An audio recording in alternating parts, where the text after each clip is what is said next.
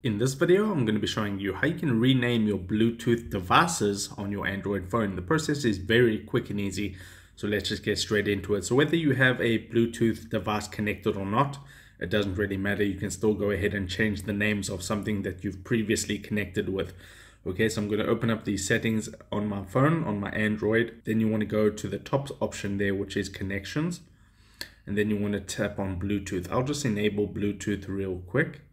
Okay, so Bluetooth is enabled. Now I'm going to tap on Bluetooth. And as you can see, um, here some previously connected devices that I've paired with on my device.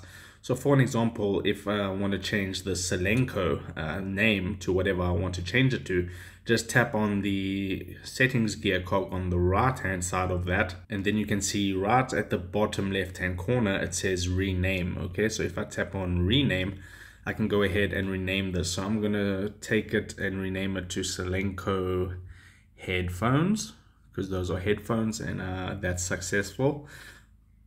Okay, so once, once you've tapped out your thing that you want to rename, just tap on rename and that should go ahead and rename it. As you can see on the top, it says Solenco headphones now. I can go back and now it says uh, the new name and that's basically it. You can go ahead and repeat the process for any connected Bluetooth device and this will work.